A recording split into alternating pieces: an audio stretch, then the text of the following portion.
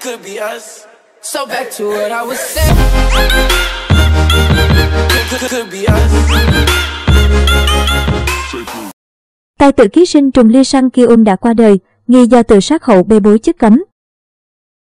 Ngày 27 tháng 12, truyền thông Hàn đưa tin tài tử phim ký sinh trùng Lee Sang Kyun được phát hiện đã tử vong trong ô tô nhưng nhanh chóng sửa lại thành bất tỉnh. Tuy nhiên chỉ vài phút sau, phía cảnh sát cũng xác nhận nam diễn viên đã qua đời. Sáng ngày 27 tháng 12, tờ Chosun Ibo của Hàn cho biết Lee Sang Kyung được tìm thấy trong trạng thái bất tỉnh trong một chiếc xe hơi đậu ở công viên Wanryong, quận Yongdo, Seoul, Hàn Quốc. Anh đã ngay lập tức được đưa đi cấp cứu. Vài phút sau khi Chosun Ibo đăng tin, trang SPL TV lại cho biết phía cảnh sát xác nhận nam diễn viên Lee Sang Kyung đã qua đời. Trong xe hơi phát hiện dấu của thang tổ ong. Ngoài ra, người nhà Lee Sang Kyung cho biết đã mất liên lạc với anh từ tối qua.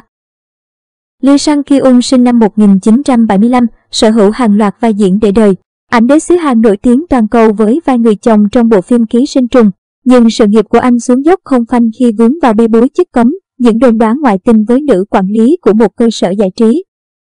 Anh đối mặt với hàng loạt các buổi điều tra và hứng chịu chỉ trích lẫn làn sóng tẩy chay của khán giả quê nhà.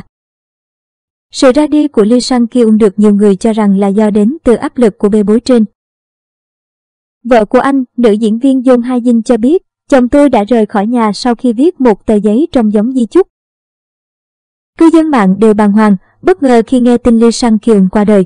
Netizen gửi lời chia buồn và nuối tiếc khi ảnh đế hàng đầu lại đưa ra lựa chọn cực đoan.